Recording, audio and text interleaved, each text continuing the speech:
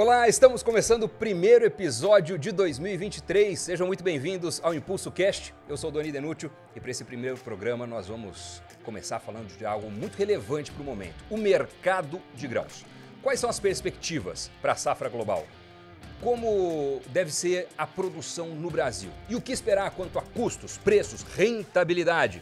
Isso e muito mais no episódio de hoje. Lembrando que você pode ouvir e ver este episódio nas plataformas de áudio o que é mais uma iniciativa inovadora que a Bayer trouxe em primeira mão para você, produtor rural. E para conversar a respeito desse tema, nós temos aqui na bancada, como vocês estão vendo, dois Marcos, né? Eu vou falar Marcos e vocês se viram para quem responde primeiro. Não, brincadeira. Olha só, a gente tem o professor Marcos Fava Neves, professor da USP Ribeirão Preto e da Fundação Getúlio Vargas, FGV. Ele que é engenheiro agrônomo com mestrado e doutorado em administração de organizações, um dos principais especialistas em agronegócios do país e do mundo e autor de 80 livros sobre o setor. Bem-vindo, meu caro. Muito obrigado, Doni. É um prazer estar aqui de novo. Mais um ano de trabalho nosso conjunto. Que alegria. É isso aí, bom demais. E quem também está aqui com a gente é o Marcos Araújo, engenheiro agrônomo formado pela Universidade para o Desenvolvimento do Estado e da região do Pantanal, com MBA em Gestão do Agronegócio pela Universidade Federal do Paraná. Ele também é autor do livro O Segredo do Grão, professor de derivativos agropecuários na B3, atuou como trader de commodities agrícolas e atualmente é sócio e consultor em agronegócio pela Agriinvest. Marcos, bem-vindo. Prazer ter você aqui. Da mesma forma, uma grande alegria tê-lo com vocês aqui. Valeu. Maravilha. Bom, olha só, vamos começar olhando para o cenário global, pessoal. A produção mundial de grãos para 2023 está estimada pelo Conselho Internacional de Grãos, o IGC, em 2,26 bilhões de toneladas, 1,5% menor do que o estimado para 2022. Há também estimativa de redução de aproximadamente 1% no consumo de grãos, principalmente pela redução da demanda por ração animal. Então, quero começar junto com vocês que estão nos assistindo ou ouvindo a entender essa história toda e Marcos Fava Neves me diga por quê, né? Quais são os fatores que motivaram essa projeção de queda na oferta global de grãos? Bom, Doni, dois pontos aí, na oferta e na demanda. Né? O primeiro, na oferta, é sempre a variável climática que está ligada, que é a expectativa de que você não tenha uma performance do clima como foi no ano anterior. Então, acho que em termos de produção, provavelmente é isso que eles têm em mente. E em termos de demanda, eu não concordo muito. Eu acho que nós estamos com. Tá certo que o mundo vai ter uma taxa de crescimento neste ano de 2023 um pouco menor, mas ainda é taxa de crescimento, significa mercados maiores. Nós estamos com uma demanda grande também por biocombustíveis, por carnes, então eu acho que essa estimativa que eles colocam para ligeira redução da demanda, eu não concordo. Eu acho que nós vamos ter uma demanda maior do que foi a demanda do ano passado, 2022. Mesmo eles apontando a questão da ração como o, o, motor da justificativa da queda da demanda? Eu acho que no momento em que eles lançaram essa projeção, você tinha aquelas perspectivas de recessão na economia mundial, o que eu não acredito. Eu acredito em menor taxa de crescimento. E é isso que eu te falei. Quando você tem menor taxa de crescimento, o mercado continua crescendo, só que é uma velocidade menor, mas ele vai ser maior em 23 do que em 22. Então eu acho que a gente pode acreditar numa demanda de grãos, de carnes, de biocombustíveis um pouquinho maior do que foi 2022, mesmo com a economia crescendo menos. Marcos Araújo, você concorda com o seu xará ou você concorda com o IGC? Não, concordo com o meu xará, mas também eu complementaria o seguinte: do ponto de vista do IGC, na relação de redução de consumo animal para rações, tem um porém. Você tem um aumento da produção de suíno na China. A produção de suíno na China teve uma forte redução em 2018 devido à peste suína africana, porém, o rebanho de suíno vem aumentando significativamente na China. Cerca de 50% da produção mundial de carne suína vai na China. E a margem do suinocultor chinês está positiva em torno de 100 dólares por animal abatido. Isso daí eh, mostra para a gente uh, também essa questão do relaxamento do Covid. Nós temos uma demanda retraída na China, um grande cheque em branco dos chineses, porque se você pegar a economia forçada que os chineses tiveram com os lockdowns, cerca de 2 trilhões de dólares de economia, maior que um PIB brasileiro, ou seja, as pessoas agora voltando ao convívio, ao feriado lunar, que é uma época de grande festividade na China, a expectativa de aumento de consumo, o que se traduz também aumento por commodities, como soja, milho, que é a base da alimentação dos suínos. Bom, então a gente está falando de uma perspectiva relativamente positiva para o cenário global. Já já a gente entra no aspecto brasileiro, mas antes eu queria mergulhar um pouco mais a fundo nas cadeias mais relevantes, soja e milho. Na soja, segundo o Rabobank, o balanço global entre oferta e demanda deve gerar um excedente entre 8 e 10 milhões de toneladas. No milho, a expectativa é que o balanço gere um equilíbrio ou até mesmo um déficit de até 1 milhão de toneladas no cenário global. Marcos Araújo, na sua visão, qual é a perspectiva para essas duas culturas em particular? Doni, falando da soja, nós estamos em janeiro aqui, que é uma época muito decisiva para a produção na América do Sul como um todo. Nós tivemos um início de temporada com grandes desafios, principalmente em algumas regiões do Brasil, como Mato Grosso, Goiás, Minas Gerais e parte do Mato Grosso do Sul. Tivemos também um começo muito difícil para a soja na Argentina, atrás de plantio, grandes secas, tá? houve replantio. Isso tudo aí faz com que o teto produtivo da América do Sul fique ainda com uma ressalva, até porque nós temos algumas regiões que se plantam mais atrasadas no Brasil, como por exemplo o Rio Grande do Sul e partes do Mato Piba. Portanto, Hoje nós trabalhamos com uma produção mundial, um potencial ao redor de 390 milhões de toneladas e um consumo global na ordem de 380.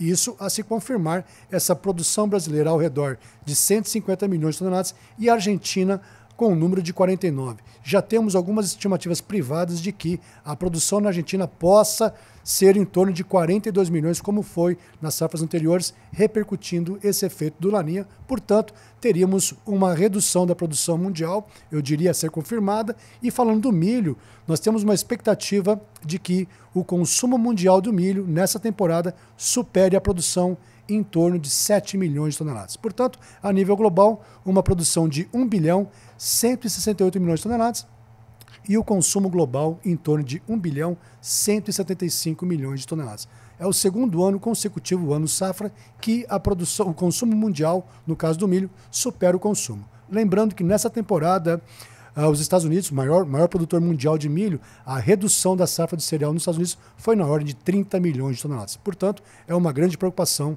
para a segurança global a nível mundial. Uhum. Fábio, você concorda?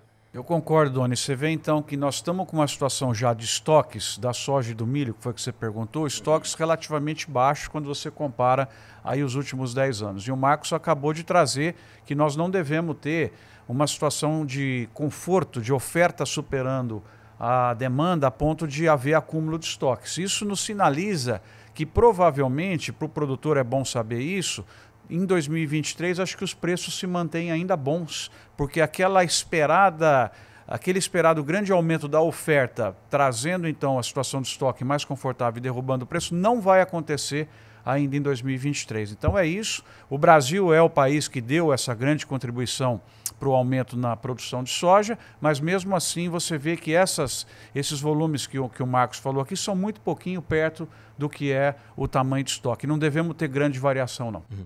E Fava, recentemente foi renovado o acordo entre a Rússia e a Ucrânia para exportação de grãos pelo Mar Negro por mais 120 dias. Qual é a importância dessa notícia?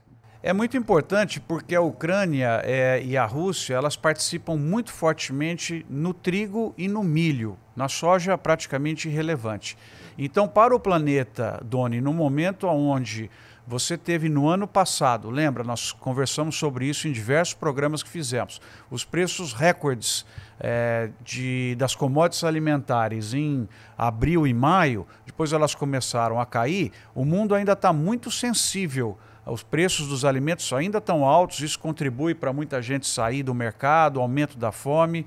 E o que a gente está observando é o seguinte: nós precisamos ter essa produção da Ucrânia e da Rússia entrando, portanto, esse acordo precisa continuamente ser renovado. Na verdade, precisava acabar logo esse conflito, porque essa produção é importante para trazer esse equilíbrio que nós estamos tendo agora. Porque se eles saírem do mercado, com essa situação de oferta que o Marcos comentou aqui, ajustadíssima com a demanda, e sem considerar a produção de Ucrânia e Rússia, o mundo de novo pode passar por um cenário de preços subindo bastante, o que logicamente para o produtor brasileiro é bom, mas nós não queremos isso para o planeta e isso vai interferir de forma negativa aí. Então é, é um ponto que a gente tem que ficar observando e torcer para esse acordo ser renovado e o Mar Negro poder funcionar normalmente. Né? Olhando para o cenário global, vou pedir para a produção rodar um trecho do programa Impulso Negócios, onde o professor Alexandre Mendonça de Barros menciona, na visão dele, isso gravado há alguns meses, qual era um dos principais aspectos que poderiam impactar no consumo global de alimentos. Vamos dar uma olhada. No caso da China, acho que é o último ponto que eu quero mencionar, há um aspecto a ser considerado. Os, a estratégia chinesa da Covid, de controlar a Covid, foi o lockdown. Né? Foi fechar cidades. Nós tivemos semanas aí, dois meses atrás, que tinham 300 milhões de chineses fechados dentro de casa. Há uma discussão se essa estratégia vai continuar. Ah, eu li muitos relatórios, tenho conversado um pouco é, com pessoas que conhecem bem a China, e eles estão dizendo para a gente que há uma ideia de flexibilizar, né, começar a abandonar essa estratégia de controle da Covid via lockdown, que não deu muito certo, via fechamento né, das pessoas em casa, e voltar mais para um caminho igual ao nosso de vacinação, etc. Se isto acontecer, na minha opinião, é, nós veremos um aquecimento da demanda e não um resfriamento na demanda. Bom, a gente vê aí esse trechinho que foi gravado há alguns meses, passado um tempo com a fotografia atual. Qual que é a visão que vocês têm nessa questão da China e o impacto dela no consumo global de alimentos. Que interessante, né, Doni? Você vê que o Alexandre estava certo. Alguns meses ele falou que essa era uma das variáveis que poderiam acontecer e aconteceu. Lógico que pode desacontecer. Então, nesse momento, a, a China com maior flexibilização é um ponto que o Marcos também trouxe aqui. Isso beneficia o Brasil porque significa mais socialização. Mais socialização é mais consumo é, e mais restaurantes e outras coisas que tiveram um problema muito sério nesse ano de 2022. Foi um ano muito ruim lá para a China.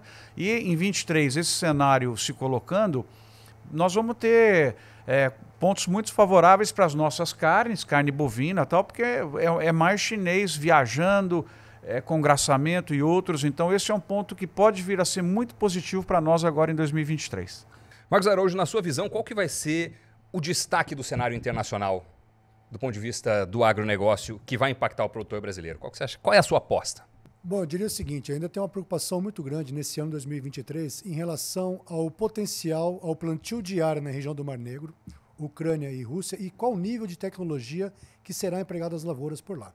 Como o professor Marcos Fava falou, a Ucrânia hoje é um grande player exportador de milho junto com o Brasil. A Rússia é o maior exportador mundial de trigo, portanto, também tem cevada.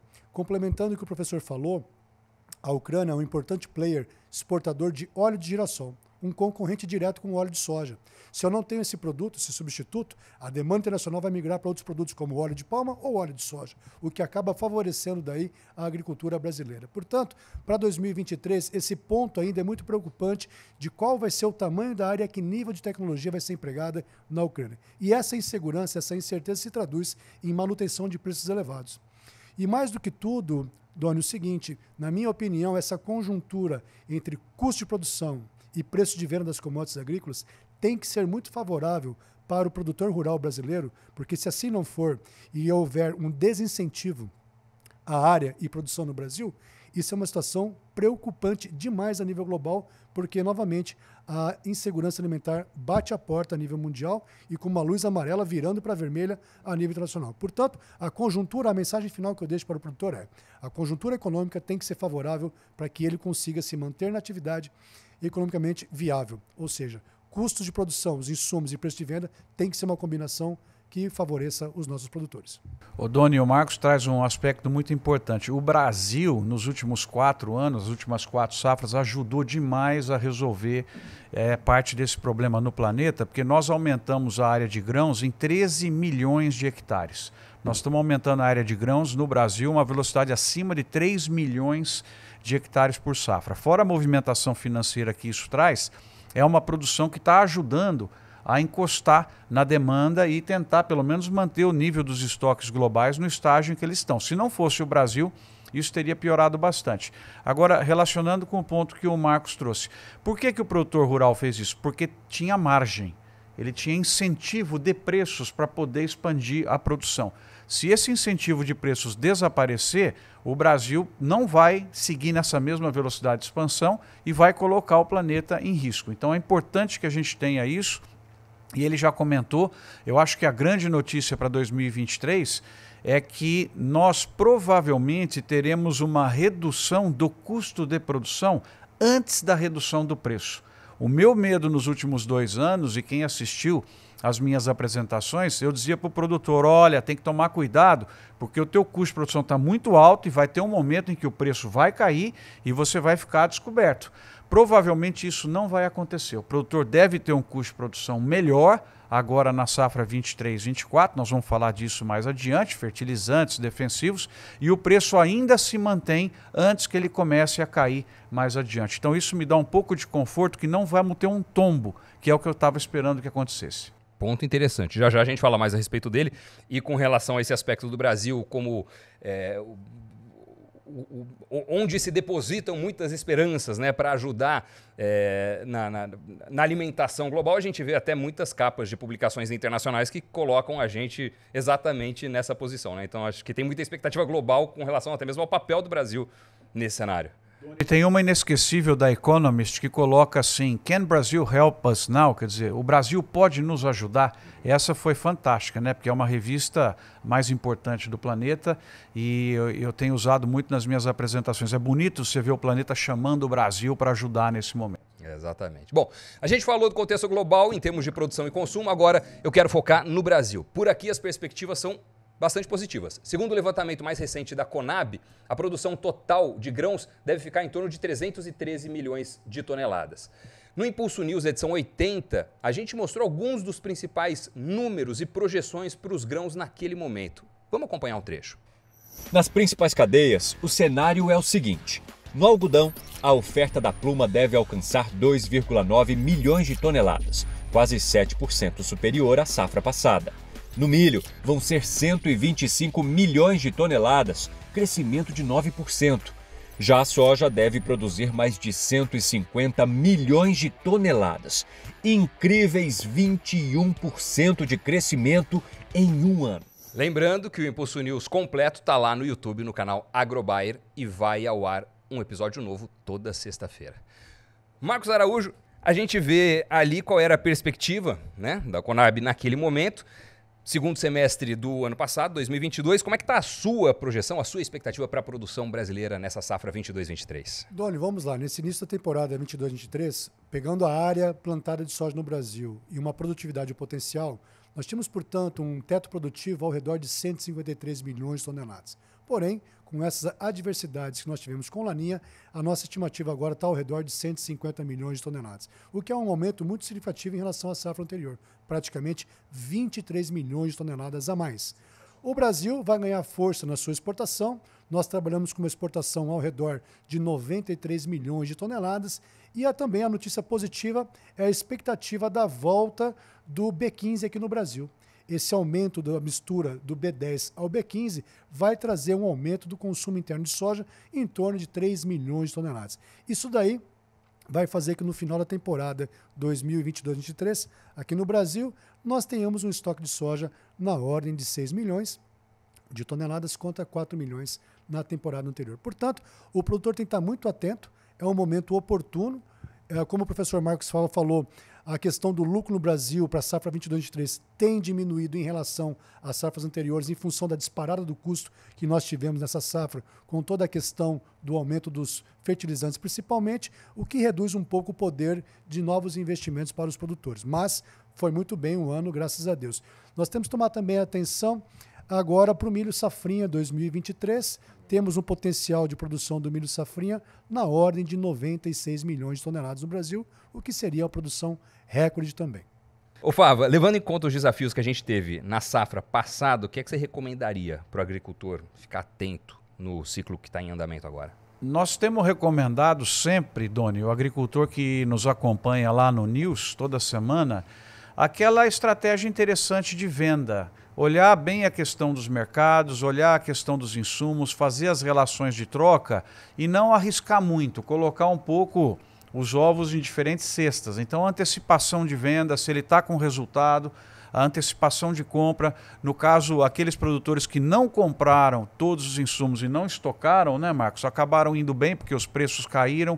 Enfim, é, é, é trabalhar sempre olhando os números, as relações de troca e não colocar os ovos todos na mesma cesta. Você fazer antecipações, prestar atenção, frequentar eventos, ouvir as pessoas que estão ali tentando trazer recomendações para que você esteja é, em equilíbrio. Acho que esse é um ponto muito importante. E, lógico, ficar é, com aquela obsessão de redução de custo de produção, adotando a tecnologia que tiver à disposição. Eu sempre costumo falar que o produtor ele tem que ficar melhor antes de ficar maior. Essa é uma frase de impacto, porque se você tiver que fazer decisões de investimento, que você possa fazer mais armazenagem, mais irrigação, mais tecnologia, mais gestão por metro quadrado e menos expansão de área, principalmente para os produtores que estão no equilíbrio financeiro ali. Lógico que quem foi muito bem, ganhou muito dinheiro, pode tocar adiante, porque você vai fazer isso com recurso próprio, não vai depender do banco e a taxa de juro cada vez mais elevada. Mas eu acho que isso daí já é uma uma quantidade grande de pontos aí para o produtor se preocupar. Pessoal, o NOAA, que é, é a, cuida lá da administração oceânica e atmosférica dos Estados Unidos, indica o um enfraquecimento do Laninha durante o primeiro trimestre desse ano de 2023. Ano passado, 2022, o clima foi uma dor de cabeça para os produtores no Brasil. Né? A gente viu o impacto na produção, fizemos vários programas a respeito disso. Vocês acham que agora, em 2023, a situação melhora? O clima não vai dar o mesmo trabalho que deu no ano passado? Tomara que não. Vamos torcer para que isso aí não se confirme. A expectativa realmente que agora, a partir de fevereiro, o Laninha perca força, fique para neutralidade e nós possamos ter aí uma safra de inverno bem produtiva com excelentes produções. Complementando o que o professor Marcos falou em relação aos produtores, a gente tem que sempre lembrar: ano bom é aquele que tem lucro. Portanto, se o produtor está numa condição daquele tripé, custo de produção, produtividade e preço de venda, se ele tem boas, boas lucratividades, por que não fazer uma venda futura daquele teu grão? Pode ser uma venda a termo, feito com as trades, cerealista, cooperativa.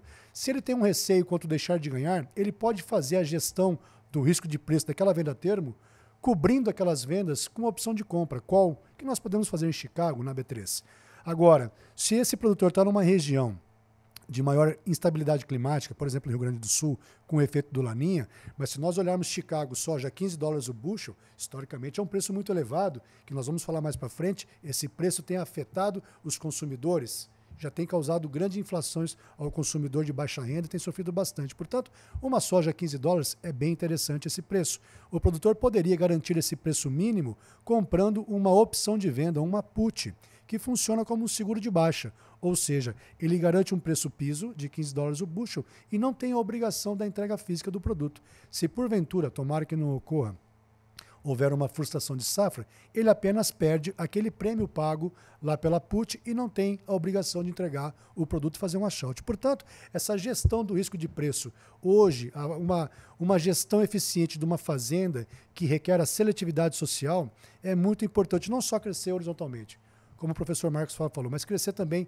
na questão da gestão, que é muito importante, e grandes oportunidades para os nossos produtores brasileiros, porque você pega, por exemplo, em anos anteriores, o preço da soja subir 50 reais por saco, deixaram de ganhar um mil, dois mil reais por hectare. É muito dinheiro que está na mão do produtor e o vento acaba levando apenas assistindo ao mercado. Portanto, eu faço a provocação para que a gente também invista um tempo na gestão do risco de preço. Eu tenho certeza que quem está assistindo ou ouvindo a gente tem muito interesse em todas essas questões, né? De custo, de preço, de estratégia, é, da melhor forma de fazer a comercialização, né? Como aumentar a lucratividade. E tem um, um estudo do Rabobank onde eles colocam lá a projeção de que os custos operacionais da soja devem crescer 45% e do milho safrinha 25% nessa próxima safra. É, a gente foi falando um pouco das expectativas. 2022, a gente sabe que teve um, um impacto muito grande nos insumos, fertilizantes. E agora sim, entrando mais a fundo nesse tema, Fava, você concorda com essas projeções? Qual que vai ser pro produtor o tamanho do problema do custo de produção nesse ano? É muito interessante. O Rabobank sempre acompanha de perto, né? E ele está fazendo uma comparação da safra 22, 23 com a 21, 22. A 22, 23, como o Marco já tinha antecipado, teve um aumento sensível de custo de produção. E isso principalmente trazido pelos fertilizantes, pela questão do transporte, né? A gente nem chegou a comentar aqui frete, defensivos e outras coisas mais. A minha leitura agora é que com a normalização da produção de princípios ativos, de produtos químicos lá na China. Um trabalho muito interessante que foi feito por empresas brasileiras de diversificar os países que entregam produtos no Brasil. No caso dos químicos, nós temos aí os canais com bastante produto, a China funcionando bem, os preços caindo. Então, eu acho que os produtores, tanto para o milho safrinha agora, como para a safra verão 23, 24, eh, vão ter, no caso dos defensivos, custos um pouco mais controlados, Doni. E no fertilizante, bem mais. Fertilizante é onde teve é, essa explosão por conta da eclosão do problema que nós tivemos, é, Rússia e Ucrânia, e embargos, e o problema de frete, uma série de coisas. Nós levamos. Vocês lembram que nós começamos o primeiro trimestre do ano passado numa situação de pânico em relação a fertilizantes. Não vai ter. E aí, quando você começa com uma situação de pânico, o próprio comportamento de compra agrava a situação de pânico, porque as, produtores, cooperativas, revendas tendem a comprar mais do que precisavam para garantir. E aí nós vimos que esse pânico não era necessário. O Brasil recebeu no ano de 22 mais fertilizantes do que no ano de 21.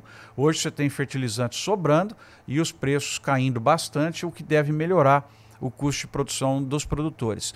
Aonde a minha preocupação ainda está grande, Doni e Marcos acho que concorda comigo, é no custo do arrendamento. É, a gente vai ter então a operação em termos dos insumos mais barata, mas o preço que o produtor está pagando para poder usar um hectare de, de terra, eu vi em Goiás no ano passado pagar 20 sacas de soja, né, em Mato Grosso, e aí você já vai ter outras 35, 40 sacas de soja de custo eu costumo brincar que você tem que pôr todas as igrejas lá na fazenda rezando, porque tem que chover bem para você ter produção. Porque você já está partindo de 60 sacas de soja que não são suas. E o arrendamento no Brasil está muito alto. Eu sei que tem produtor aqui que não vai gostar, principalmente o dono de terra, né?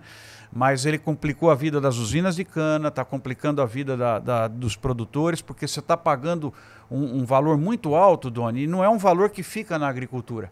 Porque esse valor que o proprietário da terra recebe, ele vai investir no setor imobiliário, vai investir em outros, e essa tarifa está muito alta. Ela precisa começar a cair também, mas eu acho, quero ouvir a opinião do Marcos, que ela ainda não cai é, como deveria para a safra 23-24.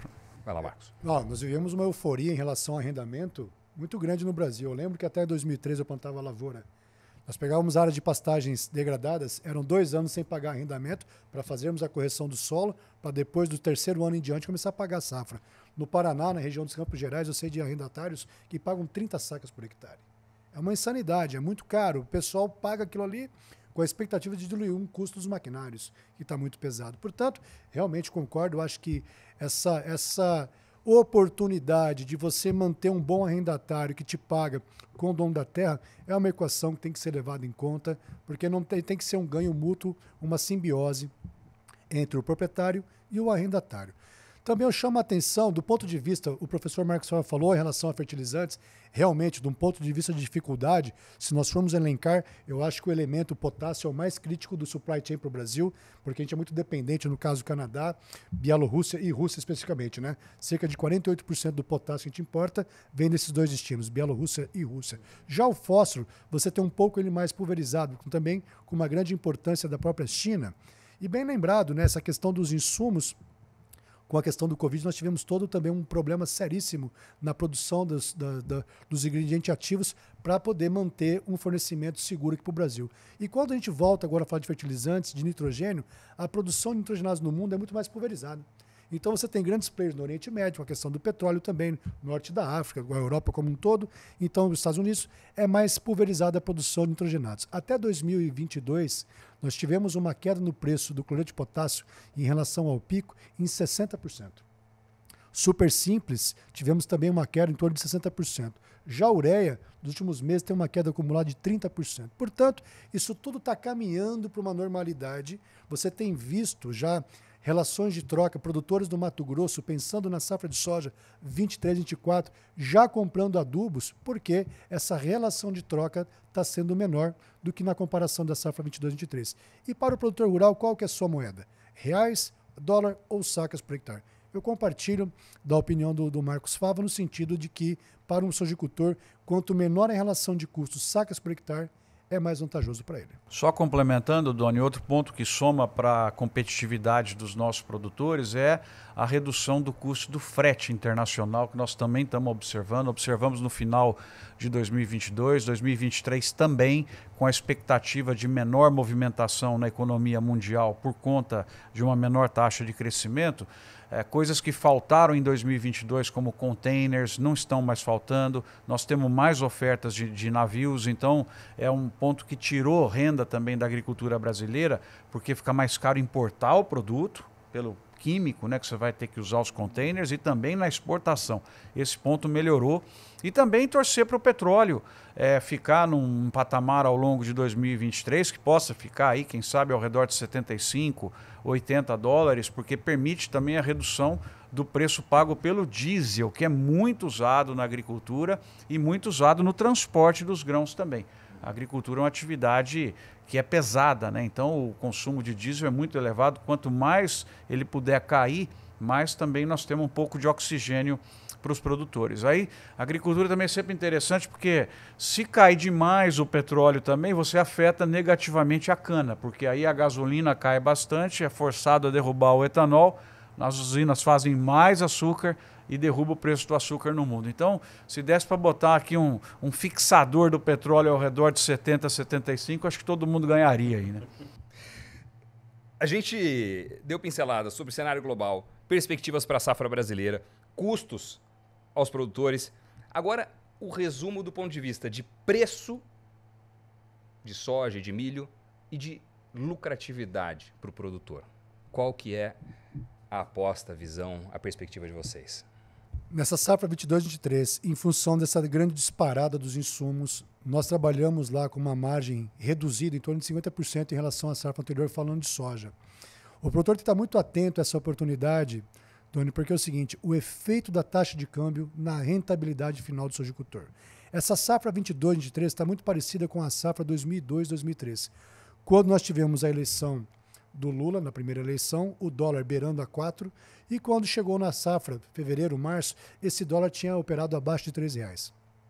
Se nós pegarmos hoje uma saca de soja de 30 dólares, um recuo no câmbio de um real por saca, nós temos uma redução no preço da soja em reais na ordem de 30 reais por saca. Portanto, uma produtividade de 60 sacos por hectare, estamos falando de R$ 1.800 por hectare. O câmbio é muito crucial, o produtor não pode deixar de olhar o câmbio. É muito importante. E como ainda nós temos esse efeito residual dos altos custos para o milho safrinha 2023, tomarmos muito cuidado. Dá uma expectativa de uma recuperação dos preços em 2023. Se nós pegarmos o quadro de oferta e demanda brasileira de milho, entre fevereiro e abril desse ano, serão os menores estoques mensais de milho no Brasil. Portanto, há uma expectativa de uma elevação dos preços no mercado interno e o produtor brasileiro deve olhar com muito carinho uma expectativa de venda futura do milho para agosto, setembro, a fim de garantir uma, uma margem de lucro nesse safrinha 2023. E como eu falei, logo mais, toda a responsabilidade de segurança alimentar a nível mundial, esse bastão vai ser passado para o hemisfério norte. Estou falando dos Estados Unidos, Rússia, Ucrânia e China. Portanto, o mercado tem que dar uma condição para que os produtores garantam o plantio. Isso se dá através do preço. Tem que ser remunerador tanto para o produtor brasileiro quanto para o produtor do hemisfério norte. O Doni, só um ponto que o Marcos enfatizou a questão do câmbio. Eu acho que o comportamento do câmbio para a rentabilidade do produtor em 2023 é algo, talvez uma das principais variáveis, porque se nós tivermos, o Brasil está na moda é, no, no, mercado internacional. A gente observa que tem muitas empresas muito preocupadas com a China por conta da questão da interferência muito forte do governo, que a gente já falou aqui, a questão de flexibilização, é, é, restrição à movimentação de pessoas, de empresas, de portos, abre, fecha, esse ponto todo. A Europa passando por uma situação de escassez energética e explosão de custo de produção.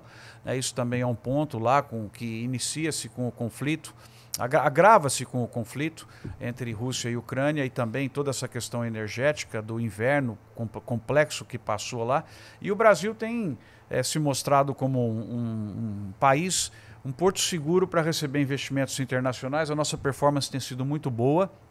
E em a equipe econômica, nesses três primeiros meses do ano, mostrando que ah, nós vamos ter uma estabilidade, nós vamos ter um respeito à questão fiscal, nós vamos ter realmente uma possibilidade do Brasil se desenvolver e crescer a economia, é, a minha perspectiva é de valorização do real e esse é um ponto que tira a margem do produtor. Então nós podemos sim dependendo de como for a performance do Brasil nos primeiros três, quatro meses, ter uma taxa de câmbio, um dólar 4,30, 4,20, né, 4,50, diferentemente dos 5,50, dos 5,80. Então pode ser que o produtor rural brasileiro perca o amigo câmbio que ele teve nos últimos três ou quatro anos no ano de 2023, principalmente no segundo semestre. Vamos ficar de olho nisso. E algo que tem relação com tudo isso que vocês estão falando é que, pelo que a gente tem observado, o ritmo de venda está abaixo da safra passada.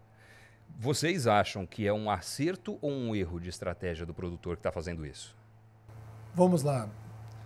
O Ainda bem que você vai responder primeiro.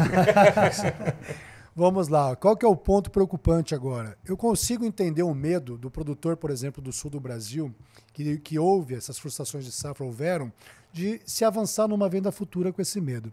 Realmente, o dólar foi o grande responsável por essa disparada de preços em reais. Agora, a preocupação para essa safra 22-23, nós temos cerca de 25% da produção apenas comercializada para frente. Portanto, pode ser, e nós sabemos em plena colheita, a agricultura é dependente do petróleo, eu preciso fazer um caixa, eu preciso vender minha produção para pagar todo o meu custeio de colheita, todo o meu custo operacional também.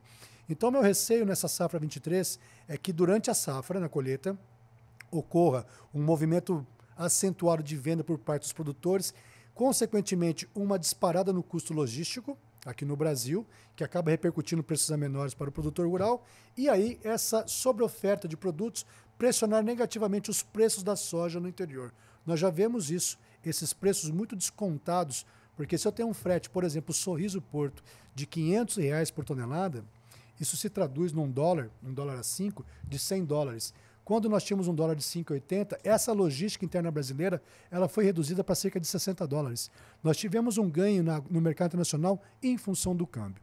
E todas essas contas, esses dados econômicos no Brasil positivo, favorecem o fortalecimento do real frente ao dólar. Lembrando que nós temos aí umas taxas de juros reais mais elevadas a nível mundial, sendo que o risco do Brasil é baixo. Portanto, nós estamos no radar a nível internacional dos investidores para que a gente tenha uma boa taxa de câmbio, uns bons dados econômicos, a não ser que medidas populistas do novo governo façam isso tudo ir por água abaixo. Portanto, o produtor tem que olhar com muito carinho essa comercialização e, de novo, ano bom é quando tem lucro. Fala, Só... se você fosse o produtor, você venderia agora ou seguraria? Eu já teria vendido, Doni. Eu teria vendido mais da metade da minha produção, porque eu teria garantido e trazido para casa já alguma margem é, porque tem, como eu falei, é muita variável variando violentamente, você corre o risco de, de perder aí, com, principalmente com algo que não é seu. É, eu acho que, assim, se você quer especular, o produtor pode especular com aquilo que é dele, né? Agora, com aquilo que é dívida, ele tem que tentar garantir logo o resultado. Então, eu acho, estão é, arriscando, né? Eu acho que esse volume é, é muito baixo. Eu teria na minha propriedade uma comercialização mais antecipada, principalmente da soja, que é onde, na minha opinião, tem o risco de ter um preço um pouquinho menor, talvez 4, 5% menor, se realmente o Brasil performar super bem. Nós vamos saber isso no final de fevereiro, no final do mês que vem. E aí realmente esse cenário pode acontecer. O milho está mais ajustadinho, mas eu teria feito uma venda maior antecipada. Gostei, hein? Programa robusto, né? Vários assuntos interessantes. Eu estou aqui aprendendo um monte. Pessoal, sensacional. E eu acho que é uma, uma coisa muito bacana para o agro também é a gente ver que a perspectiva para a economia brasileira como um todo, se olhar a projeção até mesmo do Banco Central, é por volta de 1%, pouco abaixo. E para o agro é acima de 10%. Né? Então, é, o agro vai continuar colhendo os melhores resultados entre os setores brasileiros. A renda no campo em 2023, que é o volume total de produtos dos grãos e da pecuária, multiplicado pelo preço, deve bater recorde outra vez, deve crescer 4, 5% em relação ao ano passado. A nossa exportação também, né, Doni Marcos, tem sido fantástica. Né? Em 2020, o Brasil vendeu 100 bilhões de dólares para o mundo. 2021, 120 bilhões de dólares para o mundo. 2022 passou de 150 bilhões de dólares. Isso dá mais de 2 bilhões de reais por dia. 2 bilhões de reais por dia é o que você, produtor, faz entrar no Brasil. Então, realmente, é, tem tudo para 23 superar esse número e conseguir gerar esse desenvolvimento, né, essa inclusão de pessoas pela nossa atividade principal, que é o agronegócio. Né? Bom, e agora nesse período que a gente está, o campo está mil. Tá o que está acontecendo? Está bombando. Soja. Colheita da soja e nesse mesmo momento plantio do milho safrinho. Exatamente. E é justamente por isso que eu deixo aqui o meu convite. Olha só, o Impulso Cast do próximo mês, que vai ser a nossa sétima edição, terá como tema otimizando resultados no milho com agricultura digital. Muita informação boa e novidade para você, produtor rural. Então, tá feito aqui o convite. Não perca. Marcos Fava Neves, muito obrigado pela participação aqui hoje. Eu que agradeço, Doni, a chance de sempre aprender com você, aprender com o Marcos aqui hoje também. Né? A vida é um aprendizado contínuo e tenho certeza que esse programa vai ajudar os produtores a tomarem decisões. É isso. Marcos Araújo, cara, que prazer. Obrigado por ter vindo. Da mesma forma, uma grande alegria novamente compartilhar aqui junto com o professor Marcos Fava, que tem aí há muitos anos nos guiado aí no agronegócio e a gente poder trabalharmos lado aí para mim, uma grande honra. Maravilha. Espero que você, produtor ou produtora rural, tenha gostado desse episódio. Muito obrigado por nos acompanhar nesse Impulso Cast inaugural de 2023. Você pode também acompanhar outros episódios nas plataformas de áudio e também assistir toda a grade de programação lá no canal AgroBuyer no YouTube. Até o próximo programa, pessoal. Tchau!